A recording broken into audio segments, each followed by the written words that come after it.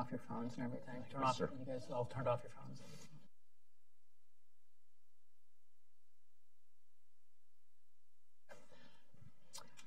Okay, let me welcome everybody to Hudson. Thank you so much for coming. Um, we're going to here talk about a, a, critical and actually fascinating issue, the impact of new social media, revolutionary changes in, in information processing and access to, and uh, access to sources, um, the challenges and the opportunities this presents. Uh, could everybody make sure to turn off or turn your, uh, your, your communication, your own communication devices on a silent mode? Um, this is the uh, latest in our series of public discussions uh, that is part of our project we're doing thanks to the John D. and Catherine T. MacArthur Foundation, which is supporting our dialogues on nuclear security and nonproliferation. Uh, and, and, of course, this topic covers both of those. Uh, and we're also, I think we also benefit from the fact that MacArthur funded the report we're going to talk about today, which is the Nuclear Monitoring and Verification in Digital Age Report, seven recommendations for improving the process, but many more than seven, so we can go into those. Um, this, is a, this report was done by the Nuclear Verification Capabilities Independent Task Force of the Federation of American Scientists. Um, the three speakers are speaking in their personal capacity today. Uh, the first speaker will be uh, Chris Bidwell. He is uh, Senior Fellow in Nonproliferation Policy and Law uh, at the Federation of American Scientists and a longtime colleague. Uh, we've worked together in decades in, in, this, in this area. Um, then John Lauder is a Senior Advisor for the James Garfield Institute of Public Leadership, which helps promote public service commitments, as, as, we do here at Hudson, by young people uh, and others based in Ohio. He's also a 33-year veteran of the intelligence community and has been very deeply in, uh, involved in these issues for decades now. And then uh, Harvey Rishikof, who is the chair of the Advisory Committee of the American Bar Association, uh, Standing Committee on Law and National Security, also involved in an uh, ABA National Task Force for cyber and the law issues, and also a longtime colleague, and more importantly, a former teacher of mine back at, at Harvard when he was a graduate student, and I was an undergraduate. Um, so what they'll do is they'll make presentations. With, uh, uh, Chris will be the longest, and there'll be a couple short ones. Then I'll uh, we'll go to questions and, and, and comments. And you're free to make comments. You don't need to ask a question. I'll ask, a, raise a few of my own, then we'll go back and forth to the audience. Uh, th- since we are in the digital age, we have the advantage that we can uh, communicate, let people watch the event live stream in real time, as well as later on the uh, website. But it also means that people who are watching a live stream want to communicate with me, just uh, make a question or a comment to the panel, just write to me, and, and that's at W-E-I-T-Z, my last name, Weitz at Hudson, like the river, dot org, O-R-G, and I'll try and uh, address the comments as the event goes on. Thank you very much. Well, thank you, and thank you for that uh, introduction. Uh, I know we're talking today about nuclear monitoring and verification in the digital age, and one of the characteristics of the digital age was outlined by Carl Stoiber, who's out in the audience, who uh, always does these caricatures, and noted that yesterday the atomic clock has now moved two minutes to midnight, closer than it's been in, in decades. So uh, this makes this uh, presentation we're giving rather timely, in Chris's humble opinion.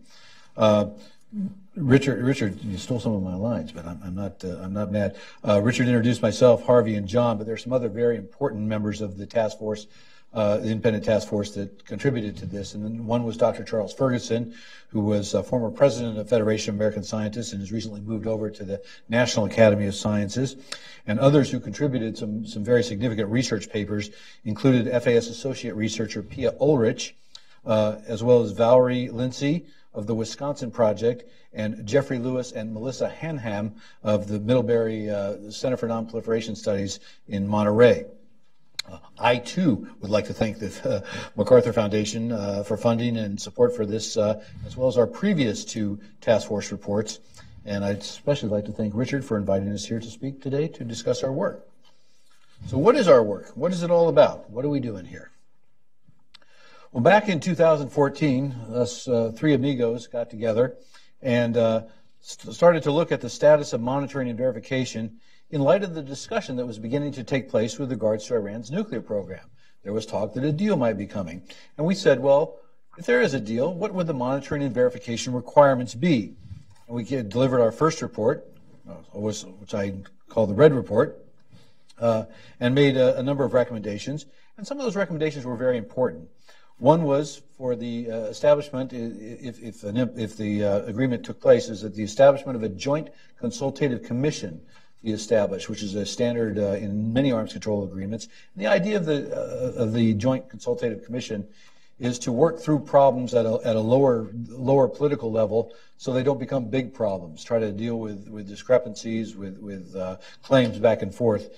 And uh, that tends to be very helpful for the process because if they, everything gets elevated at the high political level, things tend to grind to a halt with regards to any agreement uh, one, might have.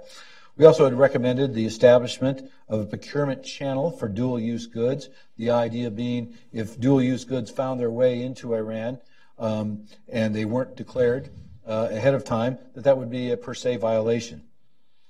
Also, in that report, our most uh, probably our most salient recommendation was the reestablishment or re-energizing of the Arms Control Observer Group, and this was back in the 70s and, and 60s, 70s, and 80s. You had in the Senate the Arms Control Observer Group, which was sitting senators, and it wasn't really necessarily the backbenchers that would travel with the delegations and actually help with the negotiations on the, some of the big Russia treaties that, that took place in the uh, in, in, the 70s and 80s. And uh, the importance was that these senators could go back and tell their fellow senators what the deal was all about and, and how they tried to uh, allay, allay various uh, concerns on the Republican side or the Democratic side. The remarkable thing about that is the votes that would come out on these treaties 94 to 6, 92 to 8 very broad bipartisan support because the work was done up front to, uh, to get everybody on board. Um, I don't think that is the way it necessarily went down with regards to the Iran agreement, and that may have been a tactical uh, a tactical problem that, that may, may be resolved, maybe not. I don't know.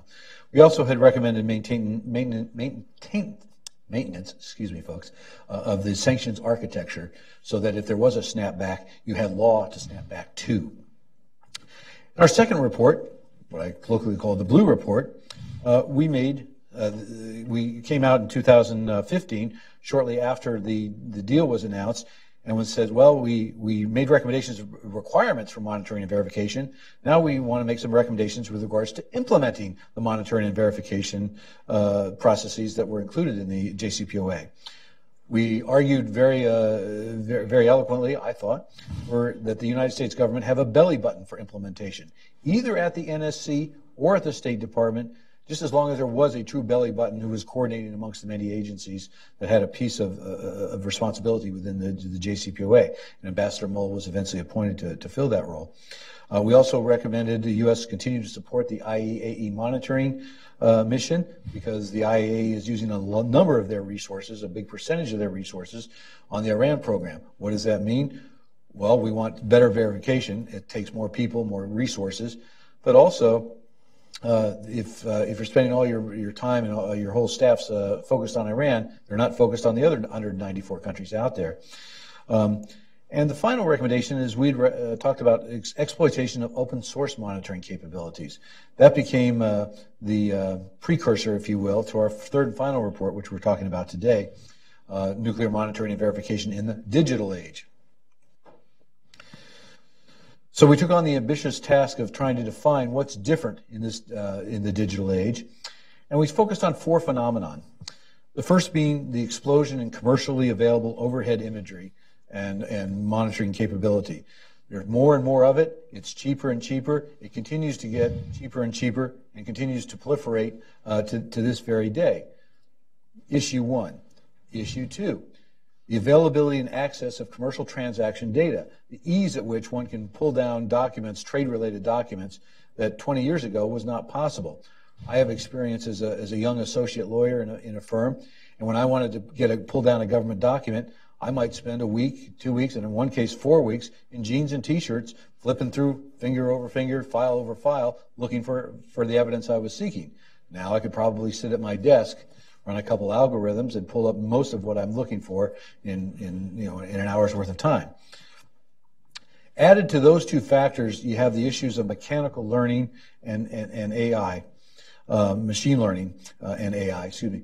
And the idea that if I'm looking for pictures of sites, I don't have to hand look at every picture and see what matches. The algorithm is starting to force data into me so I can make a make a case, make make a, establish uh, what, what I think I know faster and faster than before. So you take all of this and you dump it onto the to the the new uh, the new media that we live in, the new media world we live in in the last uh, seven eight years. Uh, the impact is you've got a media megaphone, both social media and traditional outlets, that allow anybody, and that means some bloke off the street like Chris Bidwell, to comment on the, you know, whether the Iran, Iranians or any other party uh, is, is, cheating on their non-proliferation treaty obligations. Um, I think this creates a, a problems and issues for the, for the government community, for the policy community, but uh, we're here to stay. And, and, and using what I described above and what Chris Stubbs of, of Harvard and Sid Drell of Stanford in a paper they wrote a couple years ago described as these public technical means. And these public technical means, you know, more overhead imagery, uh, easier access to, to transaction data, allow NGOs to have a bigger role, NGOs like ourselves, Federation of American Science, to have a bigger role in the uh, in the proliferate in the in the debates. So the three audiences for our report were the NGOs themselves, the NGO enablers, and governments. I wanted to highlight uh, uh, something about a visit we took uh, as part of this project to a place called Planet Lab. I don't know if any of you have ever been there before, but uh, Planet Lab is putting up satellites, uh, Dove satellites, microsatellites. They're called a number of different things. Uh, we visited this warehouse, and it was a pr- pretty typical Silicon Valley startup. Those of us of a certain age, and there's many of us in this room, think of uh, a company manufacturing satellites as clean rooms and men and women in white coats, uh, you know, walking around big big projects.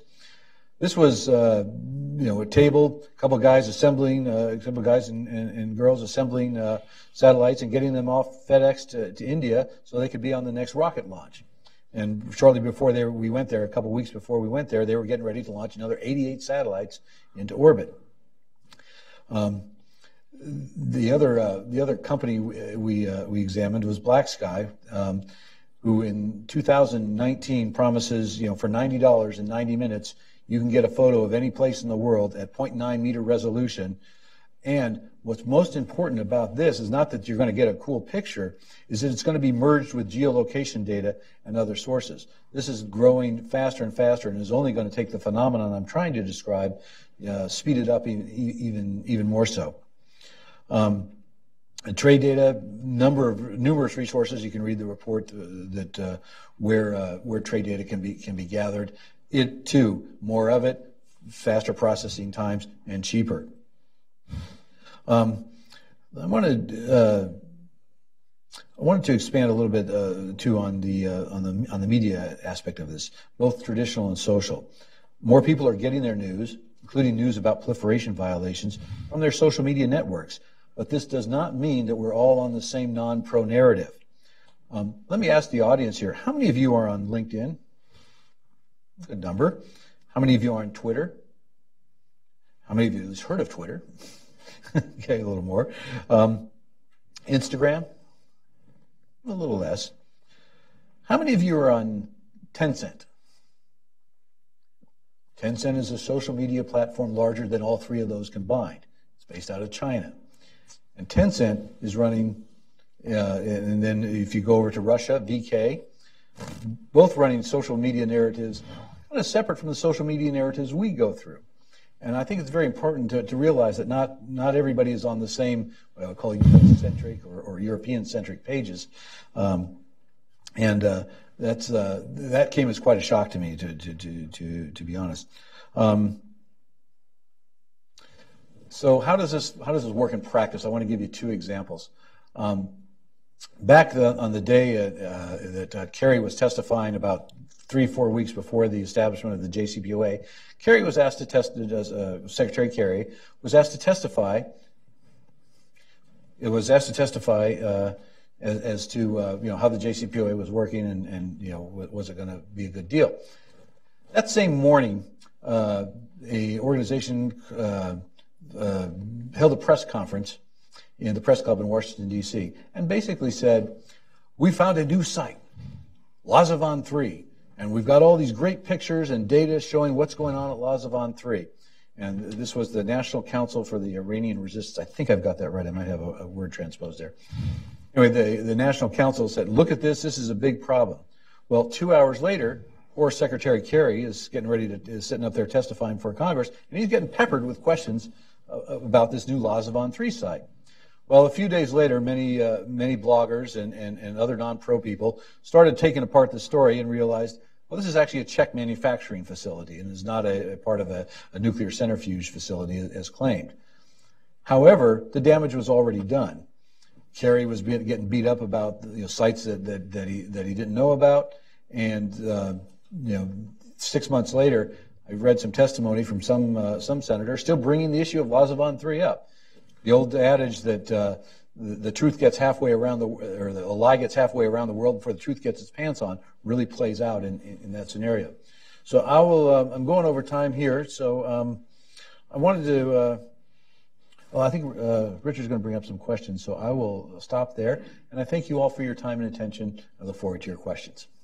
Thanks. Uh, just uh, uh, uh, make clear these reports are available on your website, right? These reports are available on the FAS.org website. Great. And actually, in addition to the main report, the papers related to the report can also be accessed through the website.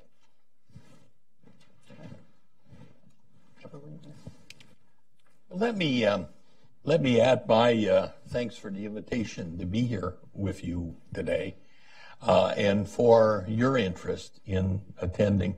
Had a chance before we started to spend a little time with um, uh, some of the um, the interns that are here, some of the um, the student affiliates of the of the institute, and one of the reasons that I'm really grateful to be here at Hudson today is that when I was a graduate student at Yale, I clearly couldn't get into Harvard. Um, I, my very first public presentation on nuclear matters was at the old Hudson Institute in 1973. I was invited to come down and be part of a, of a panel with a few of my uh, professors when we were talking about some of the changes that were underway in nuclear targeting at the time. So it, we've come a long way since. Uh, and um, and I, I have much less hair now and, and more girth than I did then, but it's nice to be back uh, here at, um, at Hudson.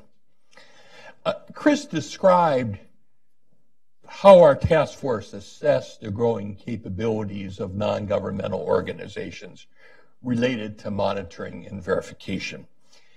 And I guess as a former government person, I should note that as significant as those growing capabilities are, they do not diminish the primacy of governments in monitoring and more importantly, in making verification and compliance determinations, which really can only be performed by governments. Governments have a far greater capacity to discover and penetrate nuclear weapons programs of concern.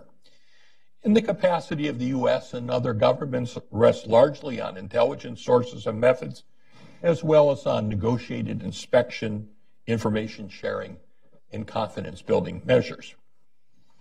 In this context, let me just say a few words about what we mean by monitoring and verification, because it'll come up, I think, in our discussion at several points. In our study, we note the distinction between the terms monitoring and verification and use definitions that are, that are most widely accepted and used within the governmental monitoring and verification communities, but whose distinctions are sometimes lost in public debate. Monitoring is the gathering of information relevant to compliance assessments through intelligence means, including the undefined national technical means that are frequently cited in arms control and nonproliferation agreements, a diplomatic means and negotiated measures. Verification is the process of reaching political judgments about that information, especially as it relates to the extent and significance of compliance and the determination of how to resolve ambiguities or evidence of noncompliance. Governments are well positioned to encourage and facilitate the work of international organizations and NGOs to participate in both the monitoring process um, and to attest to the credibility of verification judgments. In this regard, however, one of the findings of our study was that the implementation of the Iran agreement has actually made it harder for NGOs, other observers, and governments outside those that negotiated the agreement, the P5 plus one in Iran. Made it harder for those bodies to contribute to the monitoring process and for making judgments about the effectiveness of the agreement. The Iranian government apparently has, has strongly argued for confidentiality of nearly every aspect of implementation, and the P5 plus one and the IAEA are reportedly receiving information that's relevant to their monitoring and compliance and agreeing to hold that information uh, confidential uh, as, a, as a carrot to, to grant Iran in the negotiation. Still, the lack of transparency and sparse authoritative official reporting on the implementation of the agreement has created an environment in which suspicions, uh, fake news, and unfounded accusations can flourish along the lines that Chris has already mentioned. And this complicates the ability of both proponents and opponents of the agreement for making their case in public political fora in which verification judgments are made. So our task force offered several findings and recommendations to bring about greater transparency and to build greater confidence in implementation of the nuclear agreement and other similar nuclear agreements. Let me just mention two of those in the interest of time. Uh, first, an important benefit of the Iranian nuclear agreement was that it could be a step toward greater openness in Iran's military and nuclear energy programs, in its politics, and its relationship with the rest of the world. I testified on the in advance of the JCPOA on the Hill, and I used the phrase which I think Harvey had given me about the need to bring Iran into a culture of compliance. And there were a few sighs by some of the members on the committee that maybe I had overstated the case. But the, the idea of using arms control and non-proliferation agreements to facilitate openness, to facilitate greater communication, uh, is well known and, and well uh, practiced. Uh, and one consequence of the lack of Iranian transparency and openness is that it in, in, impinges on this process of greater openness. It actually impinges uh, because it doesn't create a, a foster a um, uh, an attractive business environment uh, for international firms. It impinges on the very economic benefits that Iran sought in the nuclear agreement. So address, to address this lack of transparency, our task force recommended that there should be a priority diplomatic push by members of the P5 plus one and other interesting states, supported by the international business community toward encouraging greater Iranian openness and more public release of, of data from the IAEA and from the P5 plus one. In addition, the lack of transparency has caused some to question whether the agreement is being fully complied with by Iran partisan discord within the United States and diplomatic disagreements between the U.S. and other states about the wisdom of the agreement have worked against the shared consensus about the utility of the agreement. Um, some critics of the accord believe that the P5 plus one are insufficiently attentive to monitoring or not serious about pressing for compliance. Even proponents of the agreement worry about Iranian ability to deny and deceive the efforts of monitors and the overall commitment of the Iranian regime to its international promises and assurances. Now, I'm confident that the classified monitoring community is working hard and professionally, but there's not always a shared understanding of that important work. Previous arms control agreements have mitigated such concern by creating trusted bodies of outside experts to review monitoring efforts at a classified level. And such bodies have built confidence even among skeptics, that serious and appropriate monitoring steps are being taken. And our task force accordingly recommended that a team of outside experts, insulated as much as possible from political pressures, should be created for the Iranian nuclear agreement and conceivably for a, a new Korean agreement and others. And such a team could take one of two forms. One approach could be to form an independent advisory group of experts to review monitoring efforts at a uh, classified level. And that team, if possible, should issue periodic unclassified summaries of its judgments.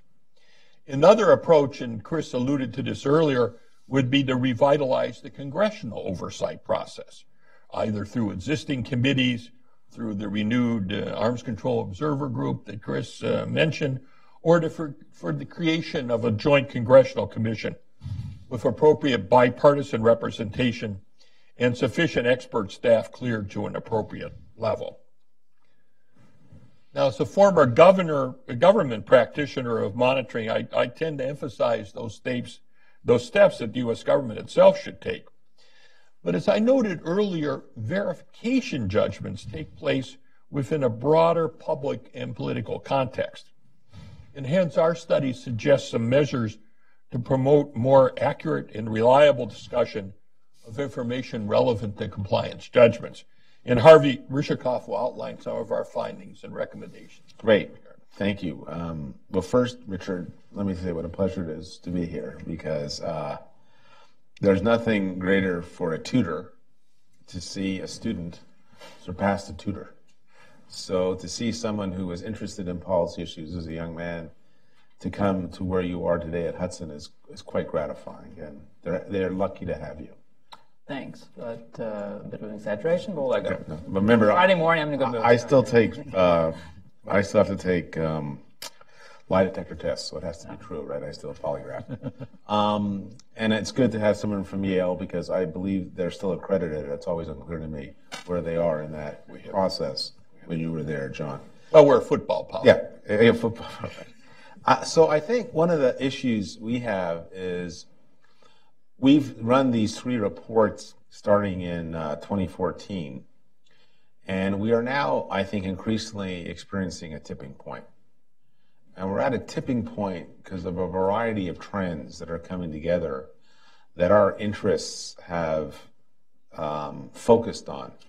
And the first is the, the general trend. There's a new RAND report out called um, Truth Decay.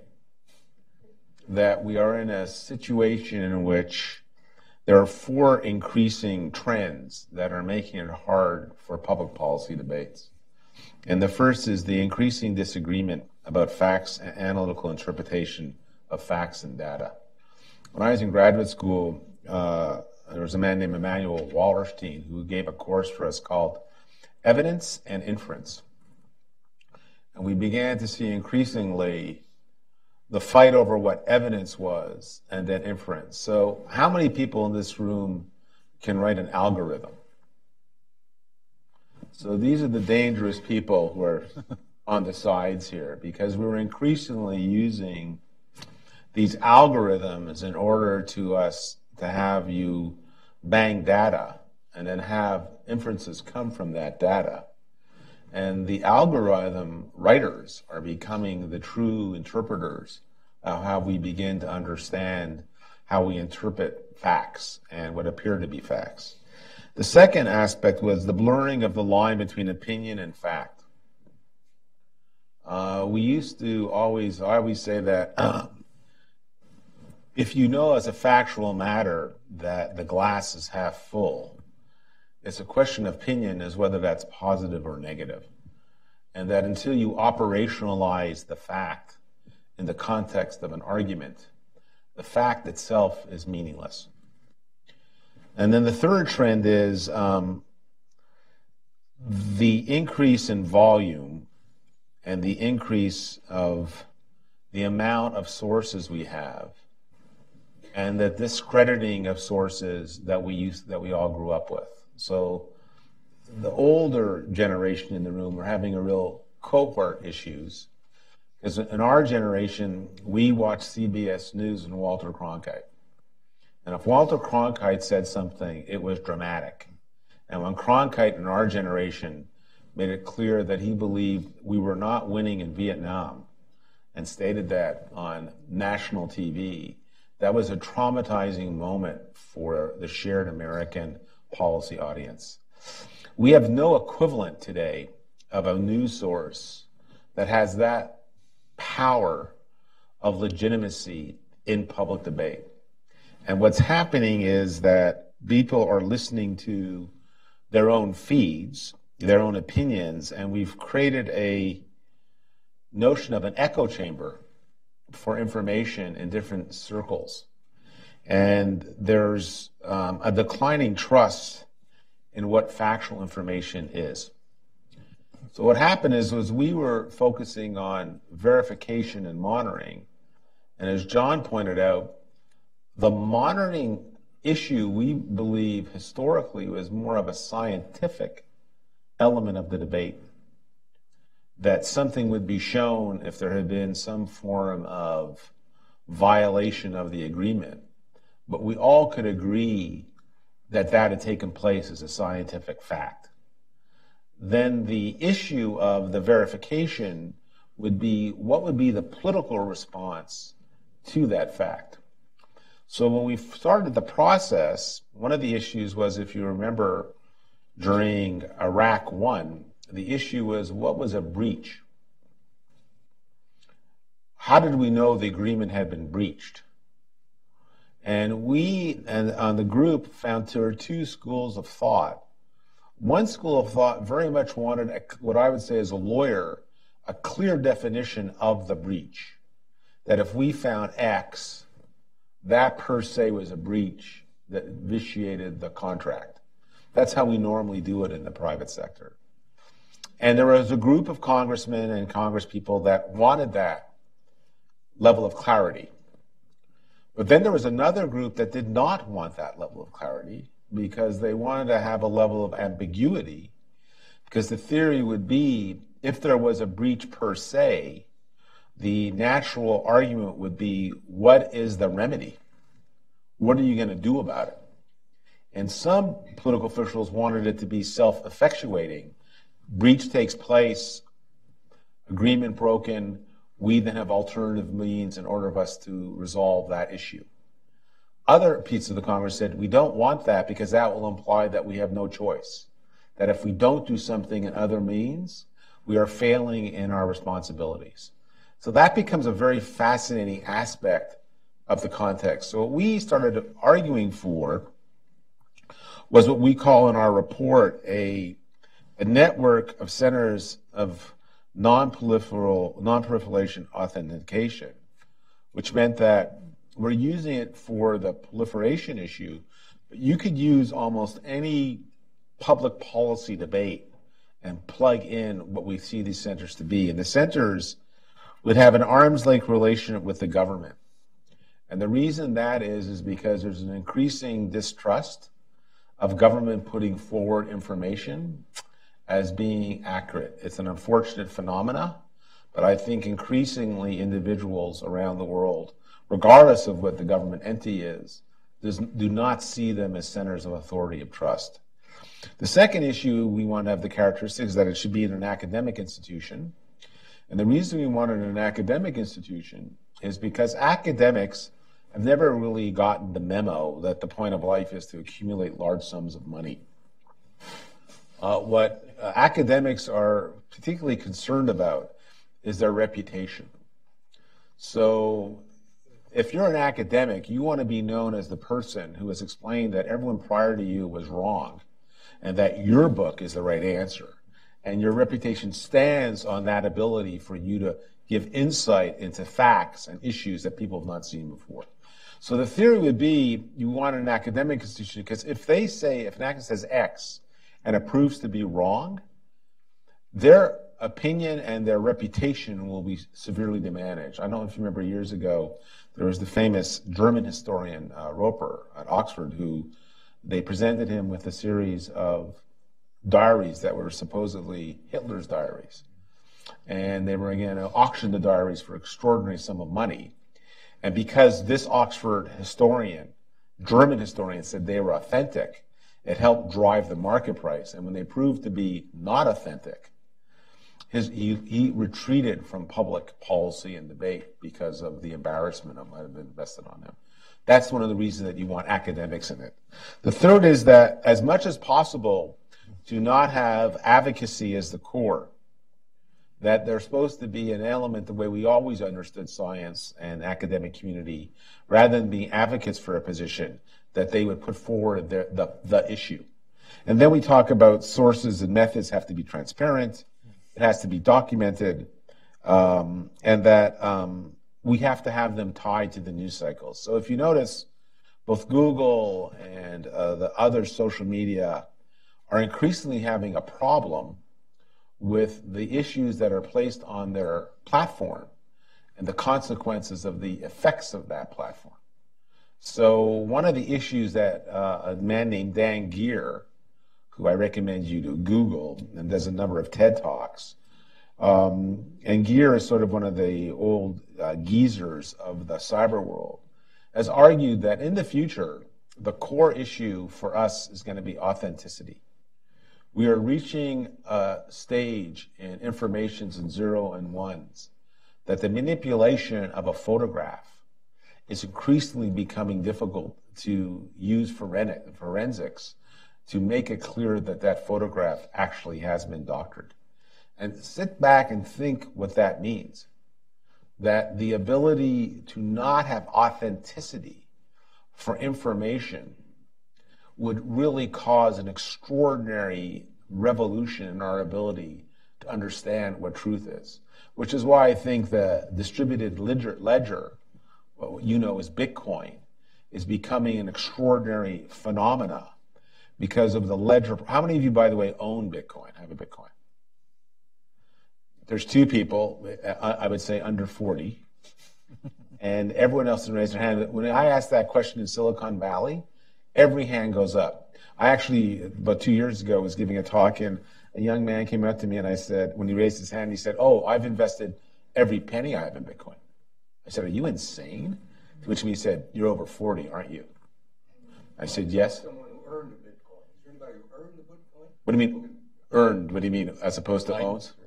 Mine? I, I don't think of any. Are you a miner? No, I just read about it enough. but to give you that example of the cohort change, but really the concept of the Bitcoin is really a distributed ledger in order to ensure authenticity because of the problems we're encountering in the technological age. And I'll end it with my uh, seven minutes. Why this is particularly important is that um, I don't know many of you have been able to look at the National Defense Strategy that was just released by Secretary Mattis. But in looking on the modernizing of our capabilities, key capabilities, the first target is our nuclear forces. And that the department will modernize the nuclear triad, including nuclear command and control communications. Modernization of the nuclear force includes developing options to counter competitors' coercive strategies predicated on the threatened use of nuclear or strategic non-nuclear attacks. We are at a tipping point with two entities, the Iranians and the North Koreans.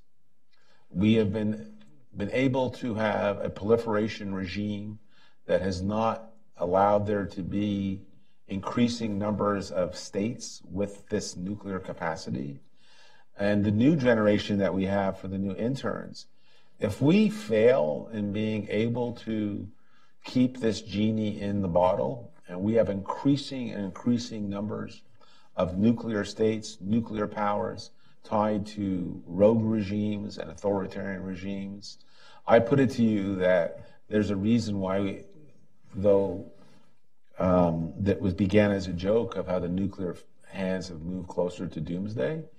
It's a reality that our generation was extremely successful up until the last, I would say, um, decade in keeping the nuclear uh, genie in the bottle. And if we fail, it's unclear to me whether or not what the long term consequences will be for the world. So, with that, I'll stop.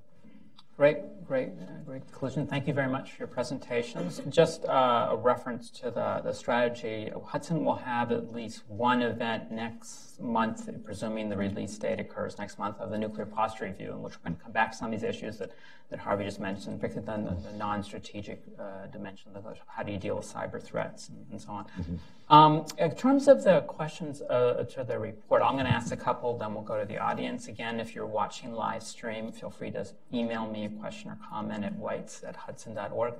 What has so far been the, the impact of, of this report, of the three reports? I know, at least on a personal level, I know that when I, we were dealing with um, addressing the concerns of the MacArthur Foundation. One of them, particularly, was this good cyber hygiene.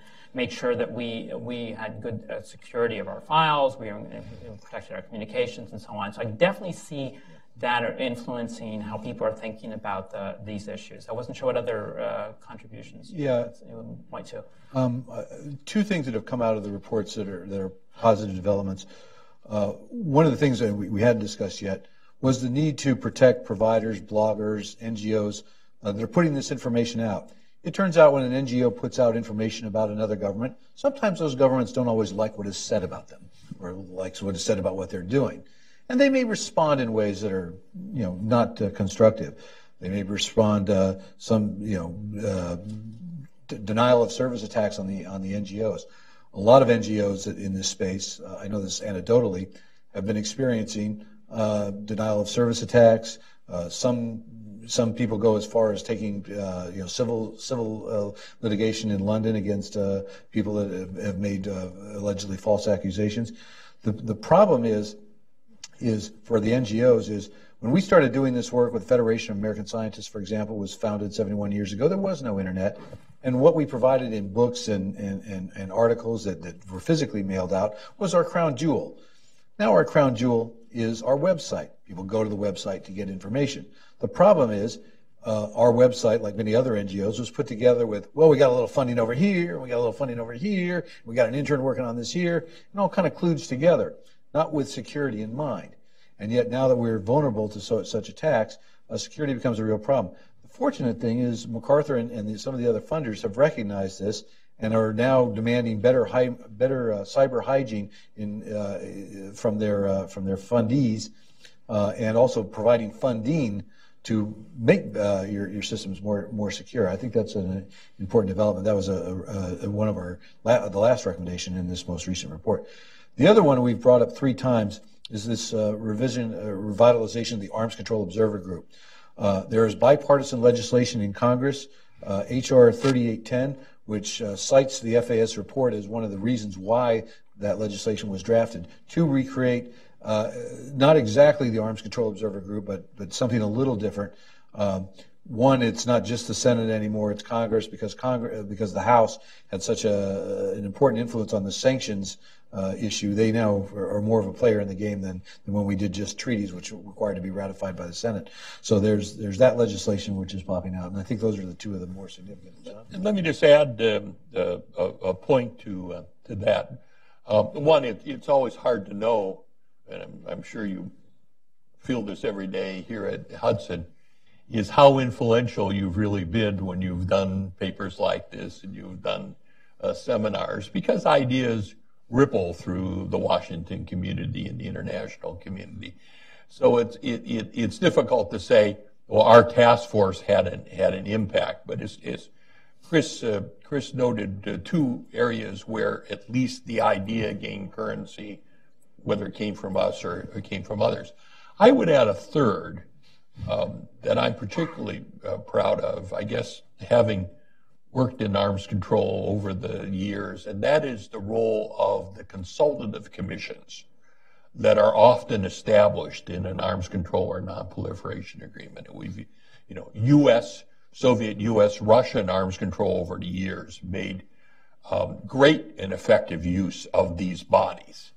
Um, and we certainly have in private and public discussions been talking to folks about how to use the joint commission that's established by the JCPOA as a way to resolve some of these questions that have come up related to implementation of the agreement, and also to provide a forum, which other consultative commissions have done in the past, for actually breaking ground on some new ideas, a place that one could begin talking about missiles and not just uh, uh, about uh, nuclear compliance. Not that the agreement itself might embrace that, but, but at least provides a forum to begin some dialogue that could come to fruition elsewhere. So I would say there was also a, a fourth area, but like many things in Washington, it's always a back and forth, which is that um, we were very conscious of the fact that when we deal with our adversaries, whether it's uh, North Korea or uh, the Iranian deal, which requires a period of time for the uh, valuation of the agreement, we had encouraged there being a focal point, an ambassador set, both inside uh, the State Department and inside the intelligence community, that would be individuals who would be permanent members of the bureaucracy to monitor. And uh, there was an ambassador set up at State Department to do that. But in the reorganization that the Secretary of State did, a number of these positions were removed. And we were saying that it might be helpful to have that position reinstated in order for there to be an ongoing commitment institutionally, because we have elections every four years. Many of our adversaries don't have elections every four years, and if they do have the elections, the same individuals stay in place. So we always are in a bit of a disadvantage with us, us learning the issue anew, as opposed to having a corporate group of individuals who are fully understand the issue and have been living the issue. That in particularly happened with our North Korean negotiations over time. One of the uh, interesting recommendations, and, and, Harvey mentioned in his talk, is the setting up this network of centers of non-proliferation authentication. Um, and, and you mentioned why you saw some advantages in the university yeah. and so on. That's going to require a substantial amount of funding and, and a long-term sustained funding process. Yes. Um, I wasn't sure if we've had any progress on that, and if not, which yes. may, may be the case, uh, what would you consider to be useful interim or, or minimum steps right. we could take first, and perhaps the prototype and develop it and so on? So the first is there is an entity that has been set up that we were using as a model, and that's the the Munk Institute. I don't know how many of you are familiar. BlackBerry. Yes, with uh, Ron Deibert's organization, but he brings together geeks and wonks so that you understand an element of an issue, which is the technical side, and then have subject matter experts who are able to put that geek technical side inside a policy context. So he's just received a number of grants and has been recognized by um, Microsoft and Group as being um, something that he's, he's particularly focused on dissent and the role of dissent in authoritarian re, uh, regimes and how to maintain and protect that dissent. So we believe that we, have reached out to a number of social media, and that our sense is that probably to establish an entity of this type and have it funded is somewhere between, let's say, five or ten million dollars per center. Uh, now, when you look at our DoD budgets and um, what Google and Microsoft's revenues are worldwide, that is not a lot of money to entities of that so, and what we're arguing and meeting with these social media groups and saying is, you are really not in the business of authentication. If you notice, Google, I mean, uh, uh, uh, Facebook has just announced a new approach to how to deal with media information and how their algorithms will privilege information coming from the network of Nest of friends versus receiving information from all sorts of entities and bots. Because as you know, what we've discovered is in the election, there were thousands of bots that were generated to generate news. And if you look at Hamilton 68, I encourage you to look at that webpage, which traces what is the monitoring of different foreign powers, of willingness to place certain types of news items in the forefront in our public debate. So our argument is those institutions, those large social media in which setting up six or seven of these centers would not be a financial burden on them, and that they'd be able to have an independent source to be able to have when information came in that they could say to their users, this story has been generated and seems to have extraordinary provenance inside the system. We have asked one of the authentication centers centered at Stanford or even Yale, perhaps, uh, or Rhode Island, uh, where we could have it sent as a group and say they've looked at it and let them show you where the story came from and how it was spread through the system in order to get credibility. So there's another um, academic out of Harvard, Gary King, who has done an interesting study. He, the three researchers took a false story uh, that they generated and placed in three different low level news networks around the United States. And they injected them. And they injected the story, and then they traced how it moved through our ecosystem for information and started becoming a national news story because of the way it works and how it gets posited. I think we need more of a way to look into how that happens and that the social media groups I think I, I, think I just saw a study that the four major social media for the first time are spending more money in lobbying in Washington. They now reach, I think, a $50 million mark for their recognition of why Washington is significant, why this is important.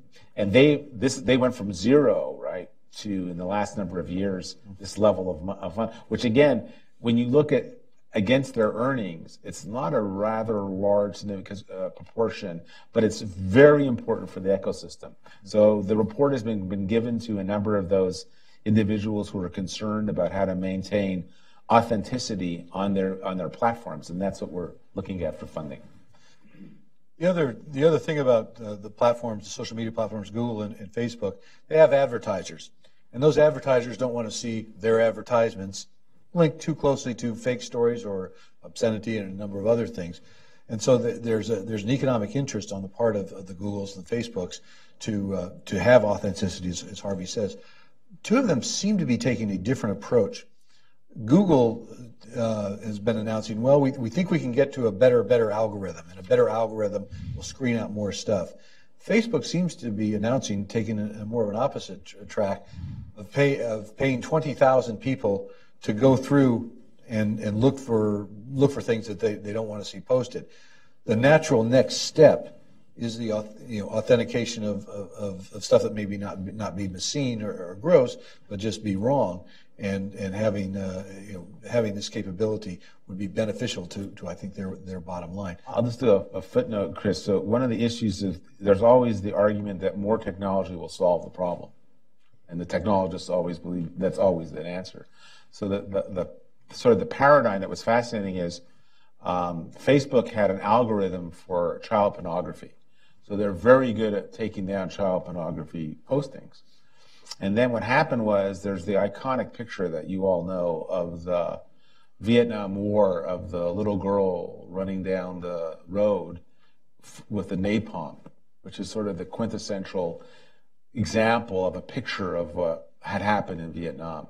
So when that picture was posted up by an academic who was putting some argument forward about the issue, their algorithm saw it as child pornography and immediately took it down.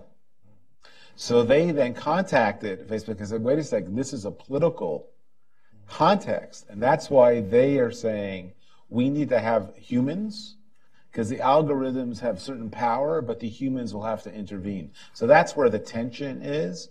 But we're saying this is more about the provenance of the information, and you would want an independent entity to be analyzing the provenance. And finally, we'll do with the Planet Labs. Um, so we have the capability now with Planet Labs. If you want to stop illegal fishing, the Planet Labs could actually cover a trawler leaving almost any port watch it go into different areas of the sea, have algorithms to be able to do calculations of how low and how high it's riding in the sea as to actually the weight of the fish catch. Just think of how extraordinary that is. So there's a whole new world for NGOs to police if you are worried about um, an immigration tent community how big is that community? Well, governments usually have a desire to underestimate the size, but if you're constantly flying over that geographical space, you could actually map the growing of that immigration community, immigrants community that's being put up. So you realize there's a real tension here between the ability for independent private individuals to enter into the public policy debate with information that is will be diametrically opposed to a government's position. And the last one I'll use is during the um, Olympics, the Chinese were very committed to the air quality for the Olympics. So an enterprising group of journalists took bicycles with uh, meters, with uh, ability to measure the air quality, and sent them out in like 12 different directions. And then they brought back the data, which is different than the official data that the Chinese were saying about the air quality, and put it up. How do you, that's a new source of information. And then you want to make sure it's authentic and accurate, but it can't, runs counter to individuals who have a different commitment to what the information they want to put out in order to, to generate what the public policy debate is going to be. Okay, uh, I've got actually a bunch more questions, particularly counterpart at the international level, are we adequately funding the IEA and other bodies? Yeah. But I see people in the audience who know a lot more about these issues than I do. So I'm going to go ahead and let me go to the questions and answers and comments. Yes, yeah, so you just raise your hand, wait for the microphone, and you can or cannot, as you choose, give a name and affiliation. Um, I might as well start with one of our colleagues here. I, am uh, Steve Buckingham. I do some uh, offsite uh, research for Richard Weitz.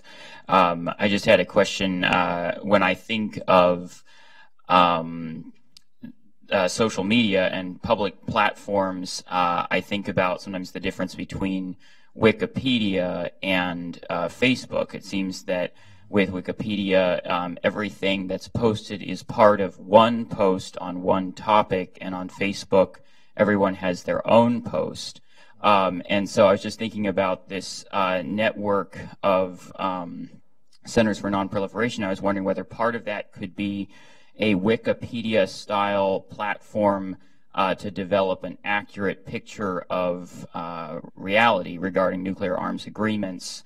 Um, and just as an analogy, it would maybe create a sort of World War I esque uh, trench warfare of information, but where hopefully the trenches would eventually align uh, around the truth, similar to Wikipedia. Um, so uh, if you could maybe comment on kind of maybe a Wikipedia style platform for this. So as a professor, when I was, I never accepted Wikipedia as a citation for a fact because you do not know the provenance of the page. But what you're saying is, um, how many of you follow particular blogs? So, sir, which blog do you follow and why? I actually use the RSS mm-hmm.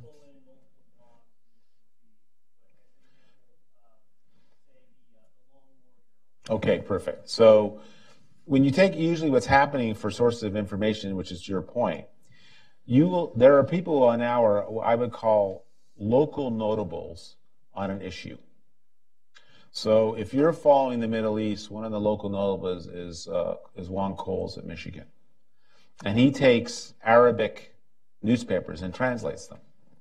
So many of us who like that area, we often go to the Coles page to see what's being said in different communities that we don't get in the regular news feed. And what happens is Coles no longer needs a New York Times or a Washington Post. He has his own platform. But more specifically, his name is associated with that judgment. His name is, so once you can have the individual, the judgment, and the authenticity, which is what these centers would be, because people will be saying, it's going to be Richard Weitz saying at Hudson, this is my judgment, these are the facts that I use, this is my position. And increasingly, as people become knowledgeable and respected, we go to those particular sites. I, be, I, I check maybe 10 or 15 sites on the range of issues I'm interested in, and I want to know how, what X opinions is before when an issue breaks. And that's, we're going almost back to the period of pre-institutions, because we used to look at institutions and organizations to give that authenticity. That's becoming less so. So the center's theory is a version of Wikipedia, but Wikipedia with authentic, uh, authentication, individuals' names, and judgments that they stand by. That's how we see it.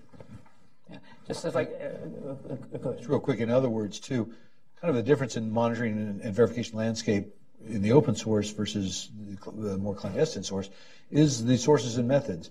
If you're going to make a case out, you better be laying out a lot more sources and method, uh, you know, on the open source to get credibility. You better explain how you got to where you got so you, somebody else can trace it back. That's kind of an anathema to the, the community some of us grew up in, where every, you know, we, that was all very highly classified and for good reason. So there's a there's a balance there. Yeah, just I can't resist put a plug in for your uh, blog. The Federation of American Science has a great uh, um, a collection of uh, articles, particularly on the, the nuclear debate, nuclear funding, uh, related issues. And then uh, Hudson, our, our, program, has a, has a blog as well. It's at https against nuclear terror.wordpress.com, in which some of my our, our young colleagues are writing, we're trying to contribute to this debate. But it's a great opportunity. There's you know, just a matter of putting the energy and effort into it, but it's, it's low cost. Um, so I'm, I'm, glad you mentioned that. Right. Um, the woman in the back. My name is uh, Dr. Taylor Winkleman, and I would like to ask for your thoughts on an emerging problem that I see with the verification that Dr. Rishikof was talking about, where uh, Planet Labs and Airbus and many other remote sensing companies will let you analyze open source data, but they have far more sensitive data behind paywalls. So it becomes a question of what do people have access to and who is going to be able to pay for advanced analytics, more sensitive analytics, more sensitive verification tools, and how is that going to affect the landscape going forward of who gets to determine what's happening on the planet? Sorry, I don't ask nice questions. No, he has a good question, and, and it's a very good question. One of the things I'm, I'm recalling from memory here is a story, and I think I've got it uh, right. Um, they charge Planet Labs model. They like to charge businesses, and you know, people on Wall Street are very interested, for for example, on how many cars each day are in Walmart parking lots, so they can kind of guess, you know, what what the outcome is going to be, and they'll probably pay a hefty price to get that information because it's worth it to them. On the other hand, Planet Labs can choose, and I believe does choose, to certain uh, non uh, certain uh, NGOs to give it a lot at a, at a, very reduced rate or a much cheaper rate or even free. So in, in, in our space, uh, you know, I know they supply a lot of information to to uh, Jeff Lewis and, and uh, Melissa Hanham at, at CNS. Um, I don't know the exact contractual relation they have, but I, knowing the budget of CNS, probably they're not paying a lot, so they are getting getting through to, to some raw. But you raise sort of, it's a fundamental philosophical question. And the first question is there's different modalities of providing information. So the modality of the government is we provide the information. But the modality of the private sector is we will provide the information, but we're going to charge you. And the charging effect also gives its legitimacy. Because if it turns out that they're charging you and it's not an effective product, the market will punish them. So one of the arguments we're making is uh, this is the way the world has evolved. And not only that, but people are more willing to believe the market than often the government. So it's char- now, as Chris mentioned, there may be abilities for these companies that are financially successful to then have discounted rates for different types of products or customers or clients. But in the end, as my dad would say, you know, you do get what you pay for. The theory of their power is that it's independent, it's private, and that they're generating a business that is sustainable. So that's what you point as the tension. And once whoever is well, but then the other issue could become is there is a way of thinking as they mature that certain major customers might say, we're willing to pay for the standard rate. And as part of that in our contract, there's a series of, we think, of organizations that are 501c3s, not for profit, that we would like to see them have a discount that we would help subsidize. And that's the way you would be able to generate both a market and 501c3 model. But for us, it's just, that's where the world is moving. And that's having a huge impact on how we understand what accurate and authentic information is. The, the, the two, why don't you take both those questions together, two people? Uh, thanks very much. I'm, I'm Mike Kraft. I worked on um, export control issues. I was in the State Department counterterrorism office for many years. And I want to pick up something on page 10 of your report where you talk about trying to deal with uh, dual use items. Uh, one of the problems we found in the counterterrorism area uh, when certain uh, items were allowed for, for Iran, for example, mainly medical items, uh, dual use items, but there was suspicion they might have been used for other purposes. Did you try to deal with the problem of A, um, false identification of items? I mean, there's many cases where something was purchased and shipped, but under a false identity, describing something that was benign but could be used for, say, testing equipment, etc. And did you try to deal with the um, identifying the end user? That was a, always big, a mm-hmm. big problem in mm-hmm. evaluating export controls and, and uh, whether a license should be issued, and which probably gets into the intelligence area. Uh, there's a, when we get the other question, you can answer both.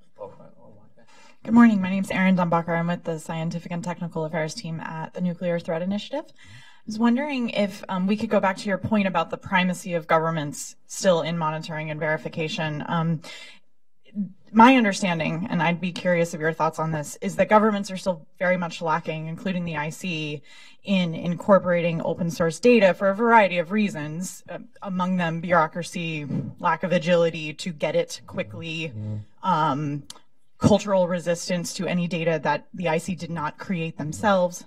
So I'd be curious if you would agree with that sort of characterization of the way open source can be integrated into what governments do, and then what sort of what are the best ways that NGOs or industry even could help to sort of fill that gap?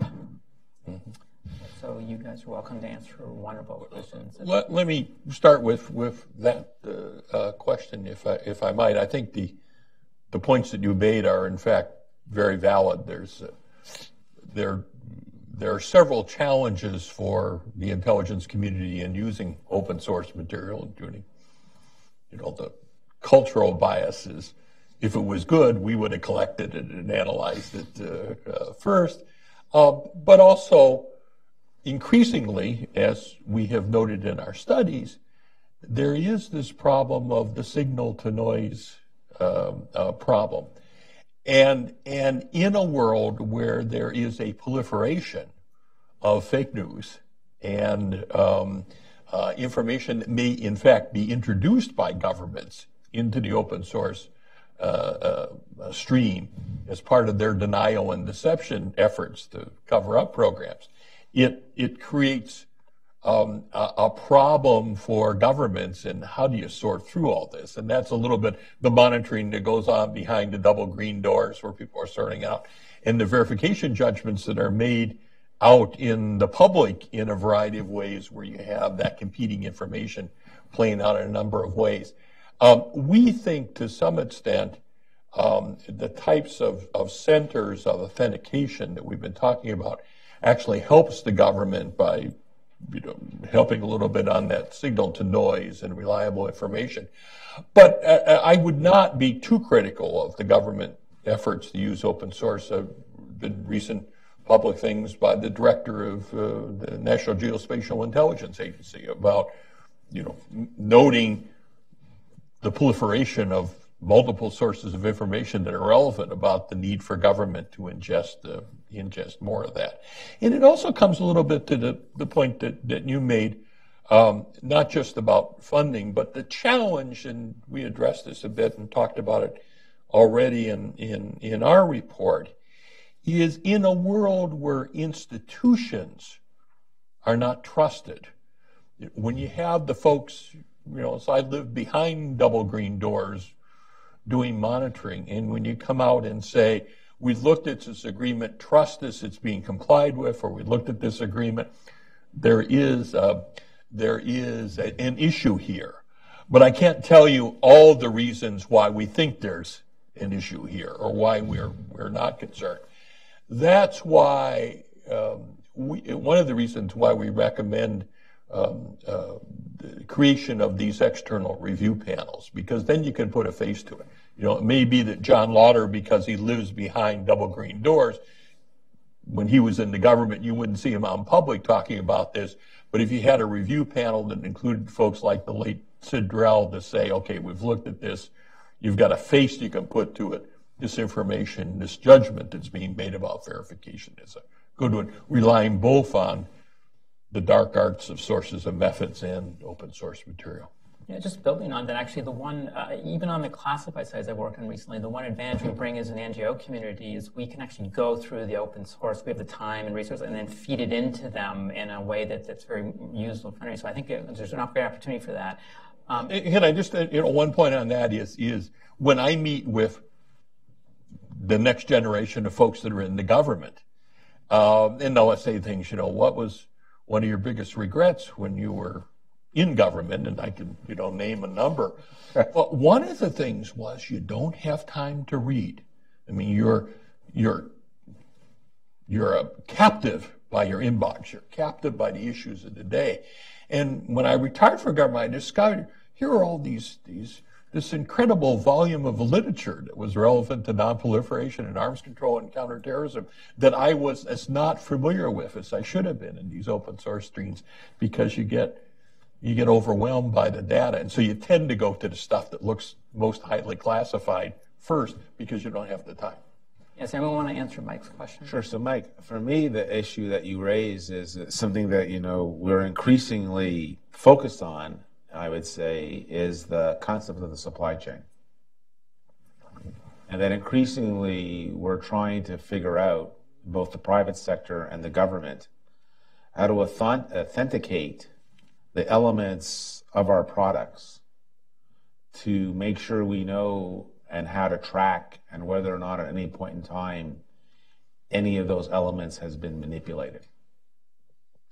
And I posit to you when we come back together 10 years from now, the level of between cyber, uh, electronics, and sensors that we're creating in order to create that authenticity for the supply chain is going to make it hard for things to be diverted.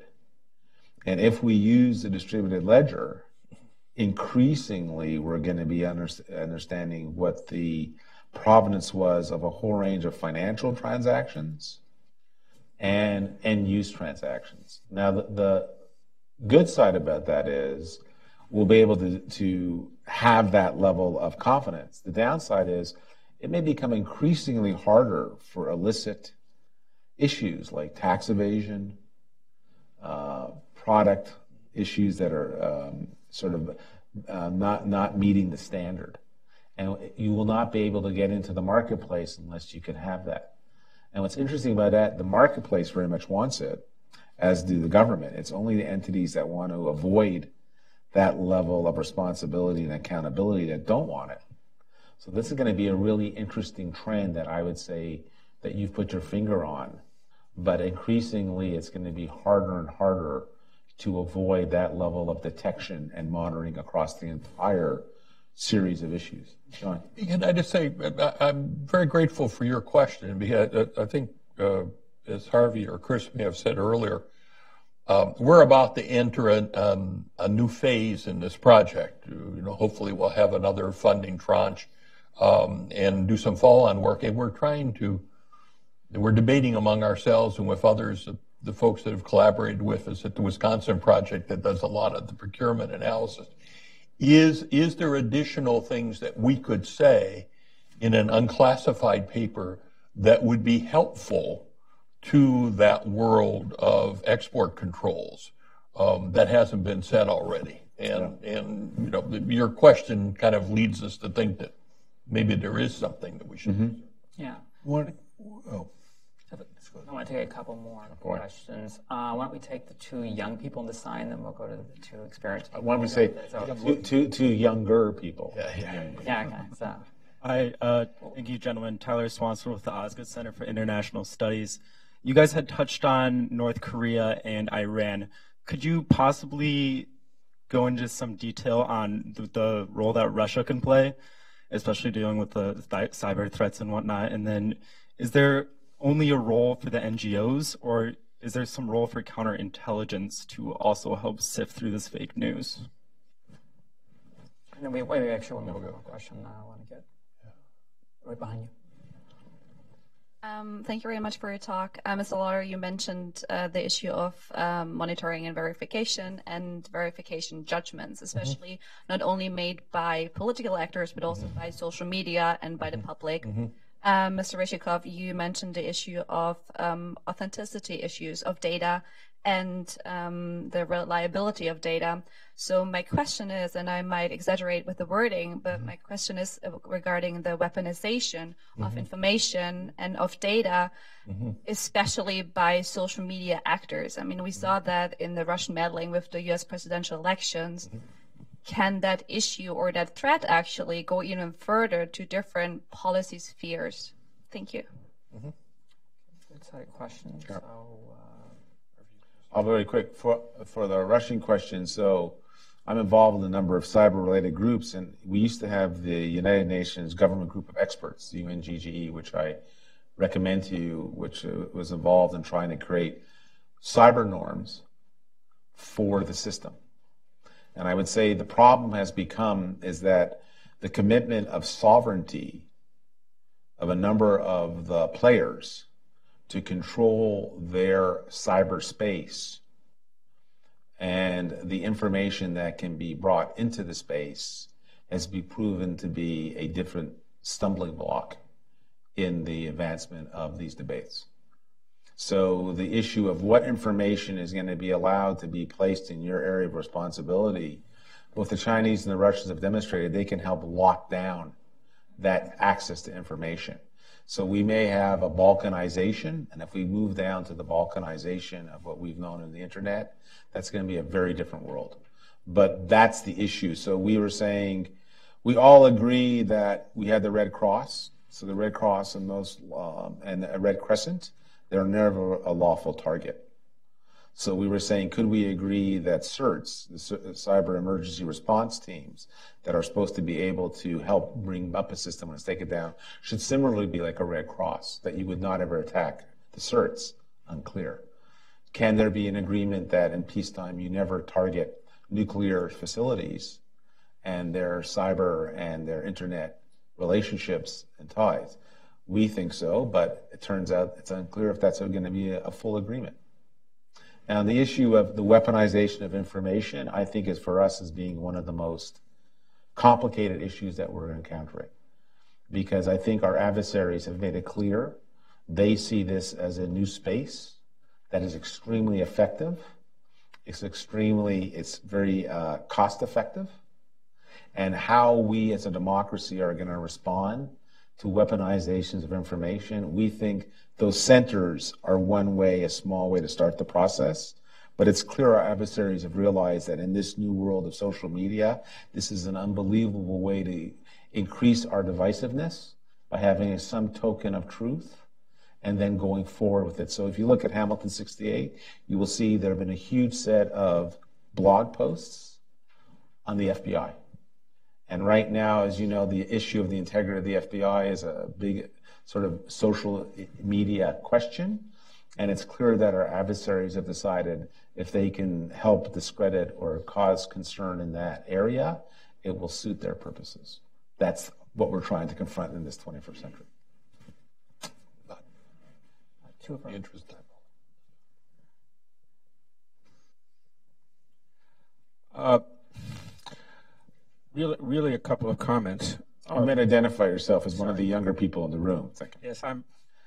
No, I'm old. Uh, my name's Peter Sharfman. I work at the MITRE Corporation. But the, the foundation of my comments is really that once upon a time, I ran the uh, National Security Program at the Congressional Office of Technology Assessment. And one of the things that OTA had going for it was tremendous uh, uh, barriers against advocacy or the perception or appearance of advocacy. And I want to tell you, it's really hard not to be perceived as an advocate. Mm-hmm.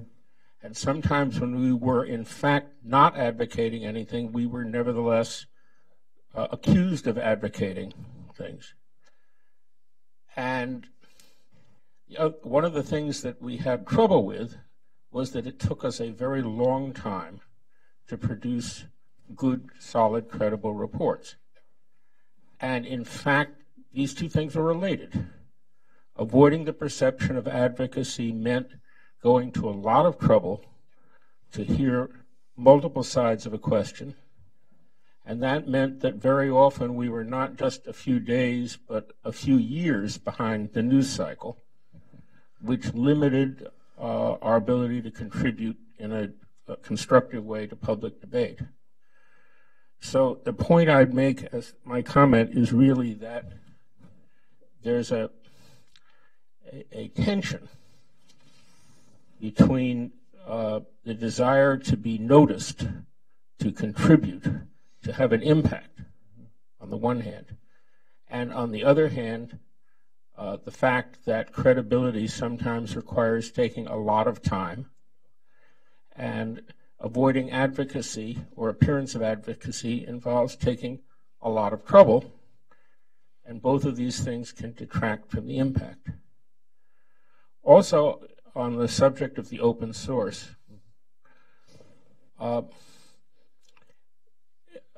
you know, most unclassified government computers are not permitted to access the FAS website. Uh, it's blocked inside the government. That's a hindrance to obtaining useful open source information. Uh, the reason, of course, is that the FAS website contains some documents that the government considers to still be classified. And this gets you into a tension between where the government wants the help of outside experts and where the government really passionately wishes that outside experts would butt out, stay away, not get involved, so forth. And uh, your your report, which I just skimmed before I went into it, uh, seems to dodge around the question of the incentives that apply to governments as they confront these new sources of information. Yeah, I just say two things. Good to good to see you again, uh, uh, Peter. You're obviously one of the. Oh, I'm sorry. Shoot the other. Yeah. yeah. Both Peter and Milton are also long time, right. Tommy yeah. for decades. Milton Hoenig, International Center for Terrorism Studies. Yeah. Remarkably, uh, we all both have a question on on advocacy, so that's why I want to do that. So two fingers. Okay. What? Two finger question, go ahead. Yes, of course, you emphasize the remarkable capabilities now of NGOs to collect and analyze data. I mean, it's absolutely incredible, and you've given a very complete discussion of how that's done. And an example is the Wisconsin project, which we rely on, which does an incredible job. And uh, you can't accuse them of any sort of advocacy, as far as I can see. Uh, but, you know, authentication is part of your center and it's a very important thing.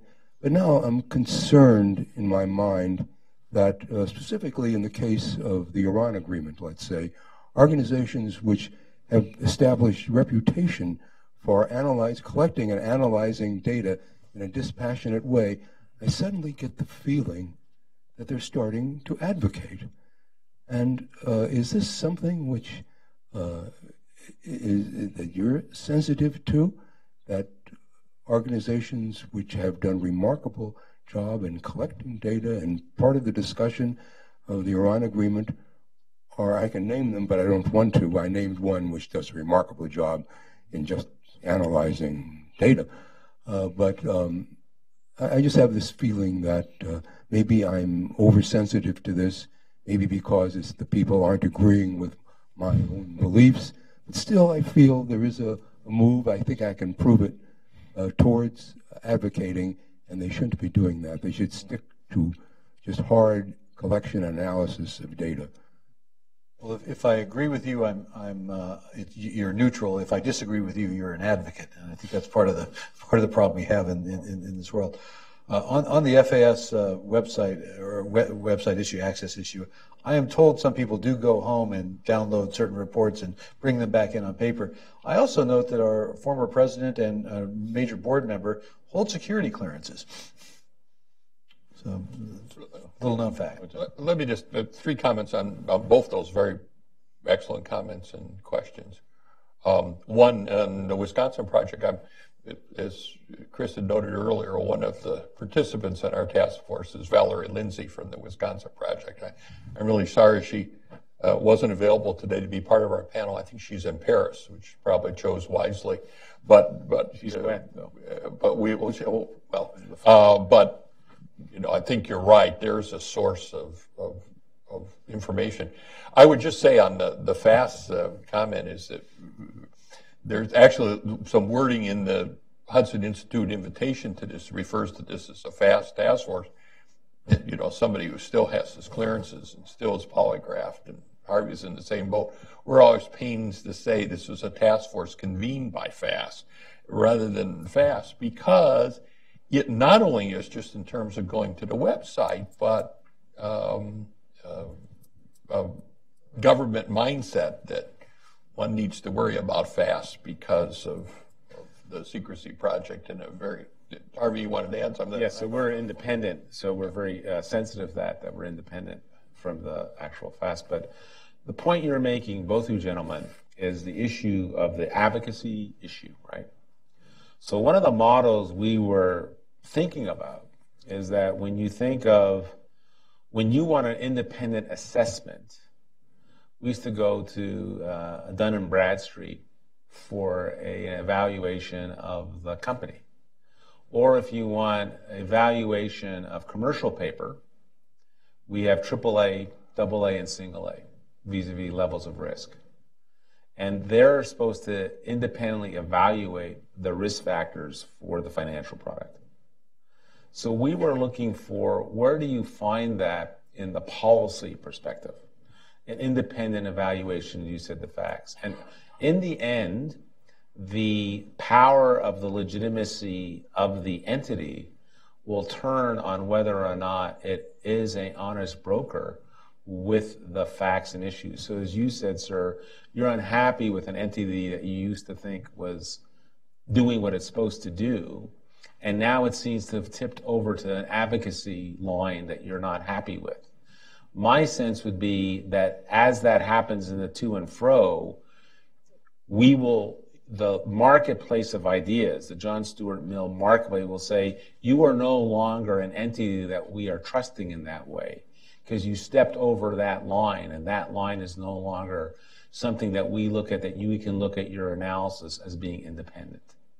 And so we would hope that the, over time, the different centers, of which there be multiple, and they'd have to communicate with each other independently for a judgment.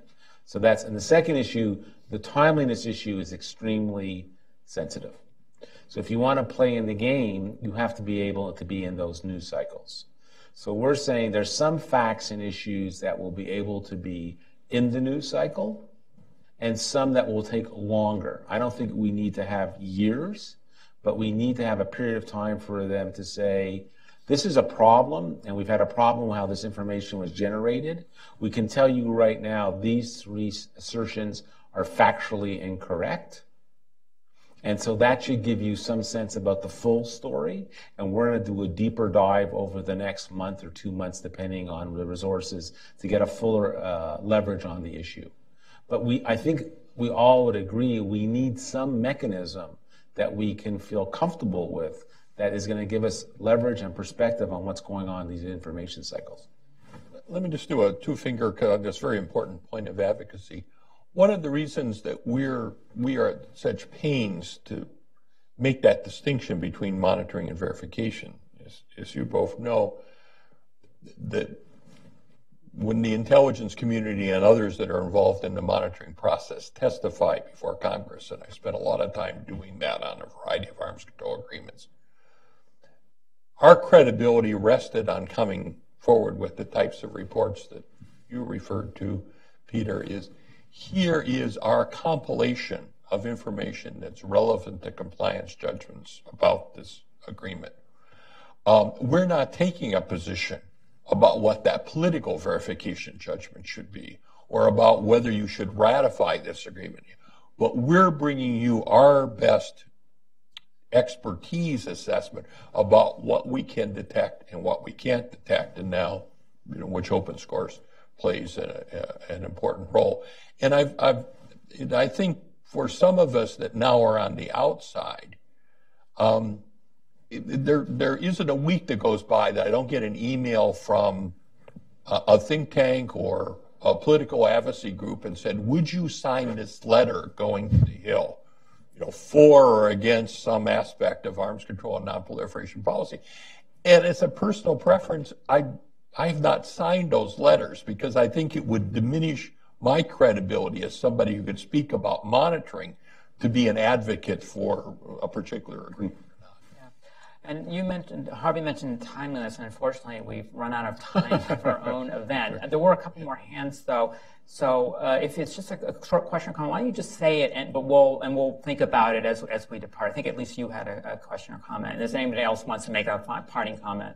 Sure. Just a quick remark. I think an example of the technical expertise in academia being brought to bear on this is in the seismic domain, where I think their seismologists have played a strong role mm-hmm. in the analysis of public domain data to supplement government efforts. And I think the question at hand here is what other information sources are there where technical expertise in academia can be brought to bear in a constructive way? It's a perfect, a perfect example that was there a testing?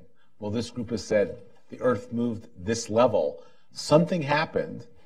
We can say what it is, but you guys would say something happened. Exactly. In the law, we say it's a res ipsa loquitur. The thing speaks for itself. So if you're walking down the street and an anvil falls on your head, we know someone is liable. The question is who. Spoken like a true uh, lawyer. yeah. All right. Allow me, please uh, join me in thanking our, our speakers, and I look forward to seeing you guys at our next event.